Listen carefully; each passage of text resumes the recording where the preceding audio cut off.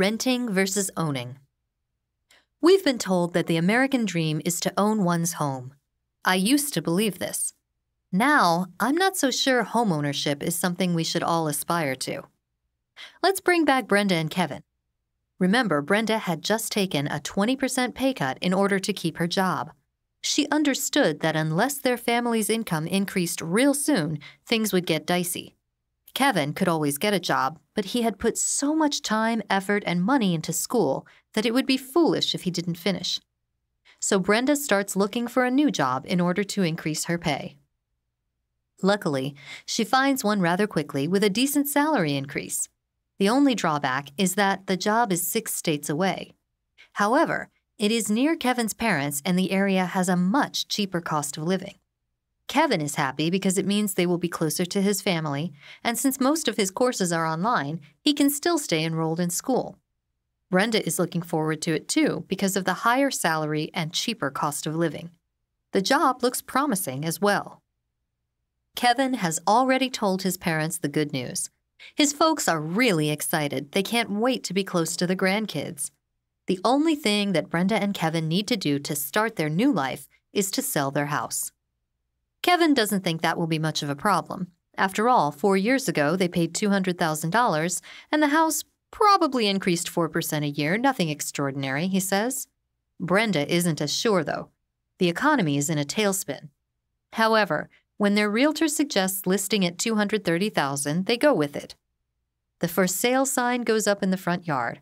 Kevin is already calculating the profit they will make.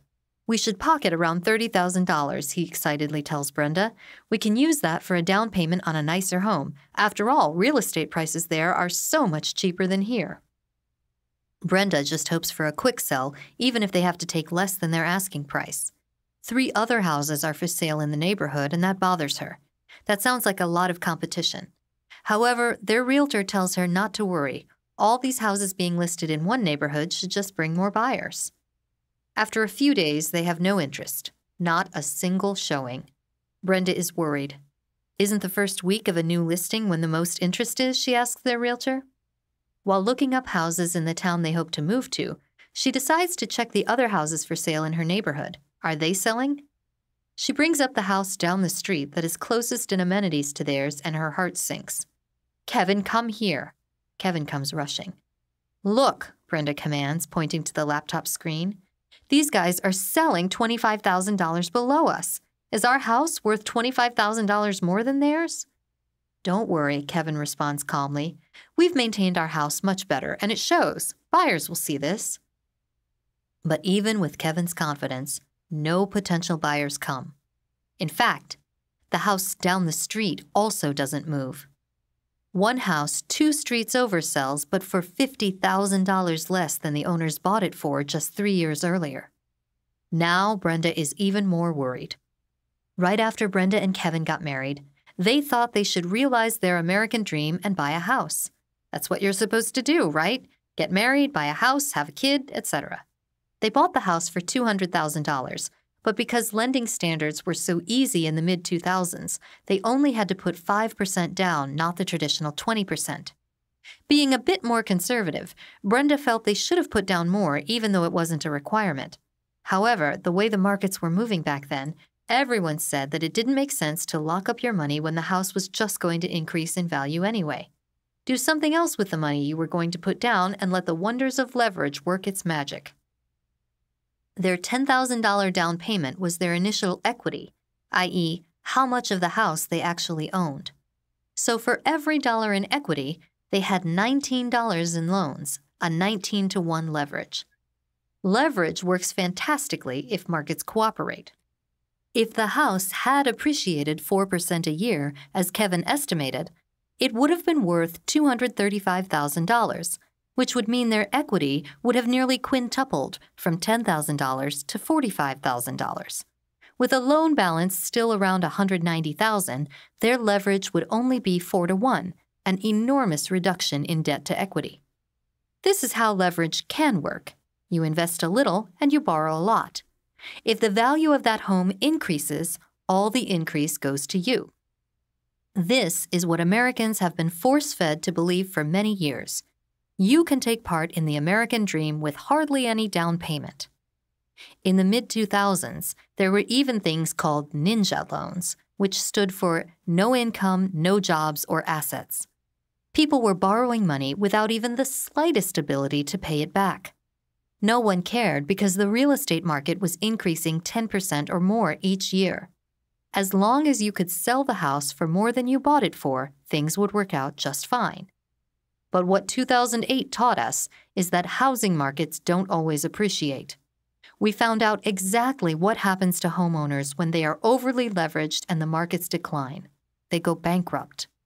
Please remember, leverage is just a fancy term for debt, which is what caused the housing crisis of 2007 to 2008.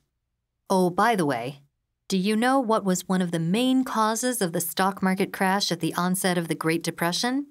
You got it leverage, i.e., debt people borrowed money to buy stocks that they thought would increase significantly in value. When a decrease actually occurred, they were doomed. Leverage works on paper, indeed. In practice, though, not so much, and lives get ruined. Back to Brenda and Kevin trying to sell their house. Unfortunately, houses just are not moving. Brenda asks her future employer for one more month to sell their house. They accommodate her because they like her, but they did have work to get done and are very eager for her to start. They also tell her they are going to continue to interview just in case. Brenda becomes even more nervous. We have to move this house or I'm going to lose this job offer, she desperately tells Kevin. They drop the price to be more competitive with the house down the street. Still no offers. They even drop the price to 195,000, which is $5,000 less than what they bought the house for 4 years earlier and still nothing. With the clock ticking and in pure desperation, Brenda convinces Kevin to go as low as they can before the job opportunity is rescinded. Kevin doesn't like it, but he agrees to drop the price to $180,000, meaning that after real estate commissions and closing costs, they will have to come up with cash in order to sell the house. But if you recall in Chapter 1, Brenda and Kevin aren't saving anything because their debt payments are eating half their income. So, how are they going to come up with the cash to get out from under the house? Maybe Kevin's parents can help them out? Then, after some very worrisome days, they receive an offer $140,000. What? They cannot believe it. $140,000. The buyer must know they are desperate. Four years ago, they paid $200,000, and now a buyer offers to buy the house for 30% less. Kevin flips out. No way, he yells. Who do these people think they are? We aren't going to give away this house. It's worth way more than what they're offering. They're trying to take advantage of us. Houses are not moving and people are desperate. Desperate people are easy to take advantage of. We just have to hang in there, Kevin says. Someone will see the true value of our home and offer a fair price for it. No, Kevin, that's not going to happen, Brenda softly explains. We bought the house when the market was at the high end. Things were moving so fast back then, and there were so many offers on houses, that we had to sign the contract within hours of actually seeing the house, or someone else would get it before we did. We simply bought too high. Brenda knows the reality of what is going on. They can't sell the house, so she'll have to decline the job offer. There won't be any move to live closer to Kevin's parents. They are going to have to cut back massively too because of that pay cut. It is going to be very tight for the next few years while Kevin is in school. Maybe Kevin will have to get a part time job while he finishes up. Brenda knows that something will have to change if they are going to make it. Don't worry, hun. When I graduate, I'll get a good job and we'll be okay, Kevin says. I hope, Brenda says apprehensively.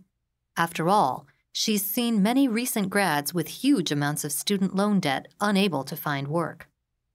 Brenda and Kevin rushed to buy their home because the market was so hot that any indecision meant they'd lose out to someone else. Unfortunately, in their rush to capture the American dream of homeownership, they paid too high a price. And when they need to sell it to move on, they can't. There are too few buyers out there and way too many desperate sellers. Basic supply and demand economics. Too much supply, prices drop. With all the job losses, people just walked away from their homes and foreclosed, which only led to more market declines. The American dream didn't turn out to be quite the way it was promised for many people. On the other hand, imagine if when Brenda and Kevin first got married, they had rented instead of buying a house. In that case, because they would have had no house to sell, they would just have had to give the landlord 30 days' notice and then move on to that job closer to Kevin's parents. Easy as pie. My family rented a couple of times when it appeared we were going through a transitionary phase, i.e., getting ready to relocate. We sold our house in Phoenix and rented a place for about nine months while we were contemplating moving back east. When I landed a job in Virginia, it was a very easy transition. No house to sell. We just gave the landlord notice and we were done. It turned out the landlord was shady and didn't give us our security deposit back. Not much we could do other than file a report with the Better Business Bureau. But even in that case, we were able to move on with minimal hassle. We then rented a place in Virginia for a year while we got the lay of the land so we could see where we wanted to live, and that worked out really well too. There are some downsides in renting, don't get me wrong. For instance, you can't do much to the house without your landlord's permission. While you may want to improve the backyard area, if you do so, it will be on your dime and you will lose those improvements once you vacate the premises. Leaky roof? You have to call the landlord. He'll get around to fixing it when he's good and ready. And yet, the whole time you're waiting for a fix, water is dripping into the house. Or the electrical unit is antiquated, and thus during any thunderstorm, it trips when the sump pump kicks on, or your basement will flood. The landlord needs to send someone out to fix this, but again, he'll do that on his schedule, not yours. It is a major hassle relying on the landlord, I will admit. So renting is not the panacea either. However, renting makes complete sense for many reasons. If you are likely to move anytime soon, it's hard to make a case to buy a house. The moral of the story is quite simple. Not everyone needs to buy a home. In fact, if you're just starting out and your kids aren't even in school yet, wait. Save some cash so when you do decide to purchase, you have a decent down payment. It's very probable that you are going to move a couple of times in your career, and it's so much easier if you don't have to offload a house to do that. Buying a home is a big deal and should be looked at as a long term purchase. Think about it long and hard before you commit, and certainly don't rush into any purchase as Brenda and Kevin did and as many others have done. If you're not sure you are ready to make the long term commitment that homeownership entails, well, there's nothing wrong with renting.